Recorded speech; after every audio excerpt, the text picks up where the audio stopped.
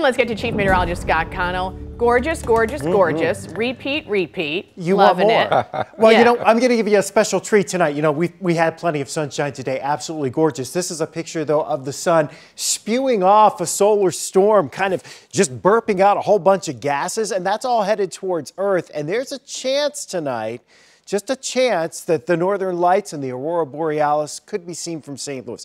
I think it's a really low chance here in the metro area, but the chance is there. So we're going to say that, you know, if there's a chance, you got to run with it. So if you would see it, you first of all have to get out in the dark, away from city lights. We're looking to the far northern sky.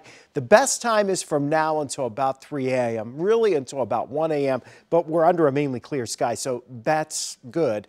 But most likely we're too far south to see much out of this. Most of it is going to be to the north, but I think we're going to see some pretty cool pictures coming out of Minnesota and Michigan in the areas where it's clear and where we don't see the showers right now. Some spots up there don't have the clear sky like we do, but again, that northern line where you might just see that green glow off on the horizon could be a little closer to us than average. This is a G3 storm as rated by the Space Weather Center. So those space weather people are watching it right now, and it looks like this is a pretty active week.